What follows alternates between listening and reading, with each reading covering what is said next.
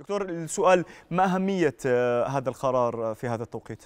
الأهمية كبيرة جدا يعني أول شيء بعد هذا الانقطاع الطويل آن الأوان أنه يرجع طلابنا يتعرضوا لبناء مهاراتهم التفكير مهارات التحليل مهارات الفلسفية المختلفة وأن يخرجوا من حالة يعني الجمود من حالة التبعية غير غير المدروسة ليحللوا الأشياء التي تأتي إليهم بشكل واعي ويدركوا الصحيح من غير الصحيح أو يستطيعوا أن يحددوا مصادر المعرفة ويحددوا قدرتهم على الوثوق في هذه المصادر. فبالتأكيد عودة الفلسفة مسألة مهمة جدا جدا جدا.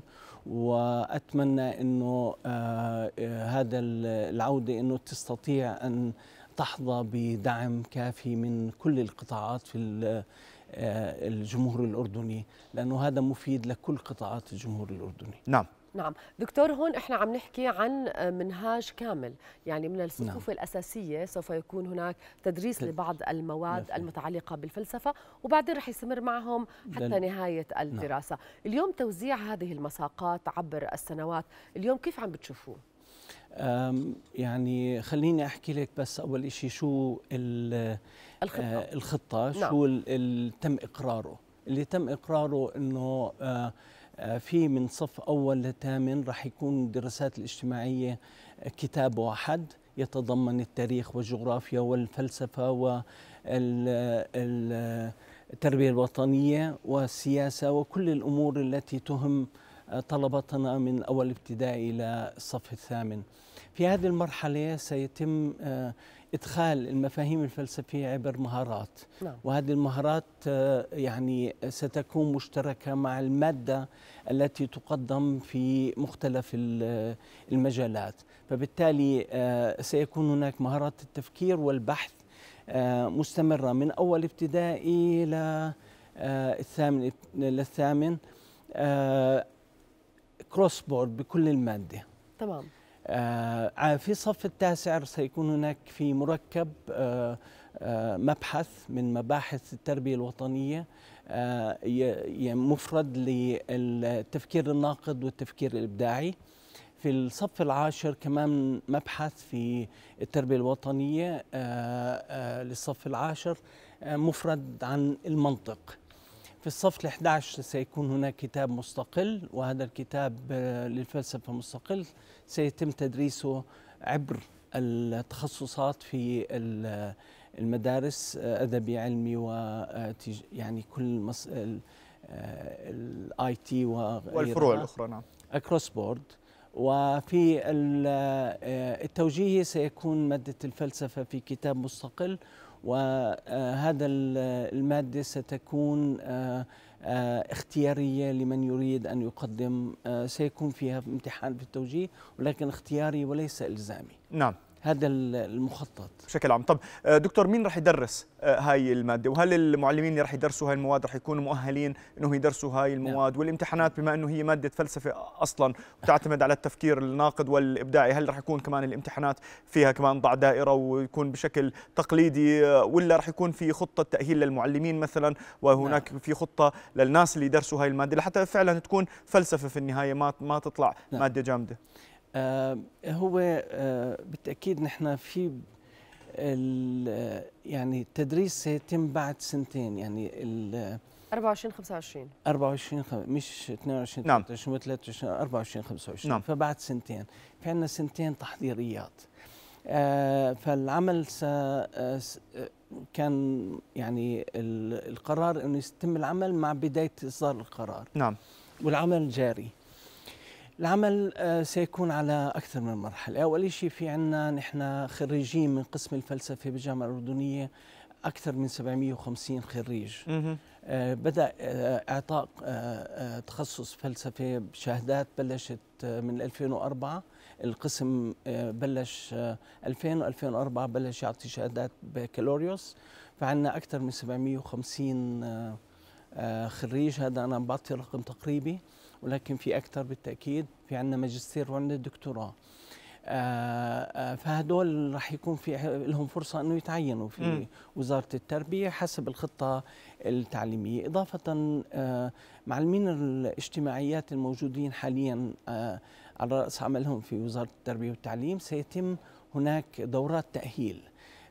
المنهاج سيكون هناك منهاج سينقسم إلى كتاب مدرسي إلى كتاب للمعلم وسيكون هناك تدريب كامل للمعلمين سيؤدون المنهاج آه، لدى الطلبة.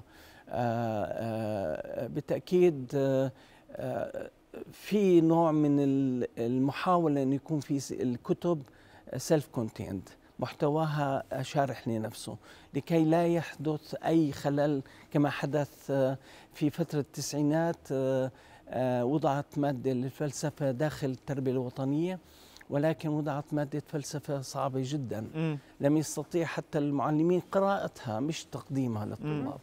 آه فهذه المسألة سيتم الابتعاد عنها. المنهاج راح يكون مبني على أساس المهارات وعلى أساس التحليل والتركيب و وليس على أساس تاريخ فلسفة. نعم. لن يتم تدريس تاريخ فلسفة ولكن سيتم تدريس المهارات الفلسفية المطلوبة والتحليل الفلسفي.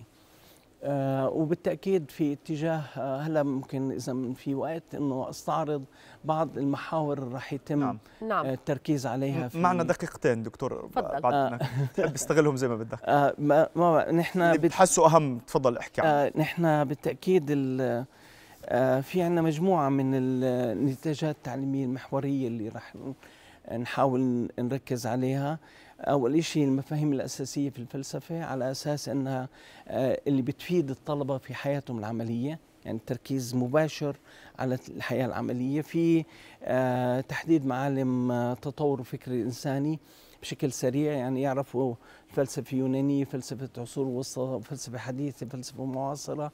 الإطر يعني الفلسفيه شاملة, شاملة. على بس كل مش آه عميق, عميق. يعني مش بمعنى إنه الطالب بده يحفظ تواريخ وأسماء. نعم. يعني هذه مسألة لكن ألا تعتقد دكتور إنه آه، يعني لحتى يكون عندهم خلينا نقول مادة 101 للفلسفة يجب أن يعرفوا منهم المفكرين الرئيسيين. أيوه بالتأكيد. وشو الأفكار الرئيسية؟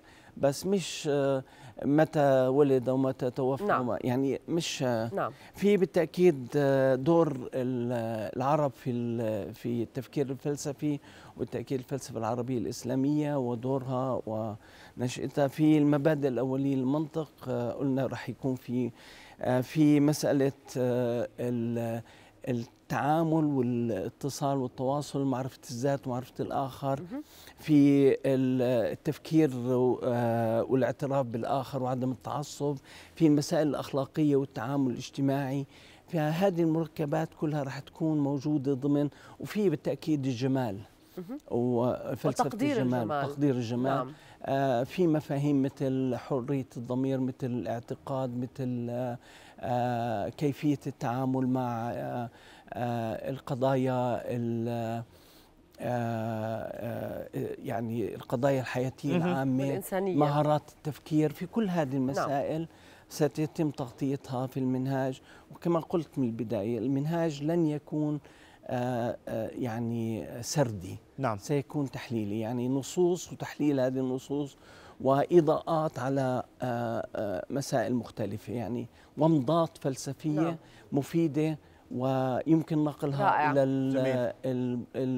الطالب بشكل سلس وسهل. جميل جميل أهلا. جميل جدا. دكتور الله يعطيكم ألف عافية. الله فعلا يعني الله يعطيكم ألف عافية. جهود كثير كبيرة وكنت حضرتك يعني أنت من الأشخاص اللي كان عندهم مجهودات كبيرة يعني لإعادة هذه المادة للمنهاج. الأستاذ الدكتور توفيق شومر أستاذ الفلسفه في الجامعة الأردنية. شكرا جزيلا لوجود حضرتك معنا وشرفتنا شكرا كثير لكم.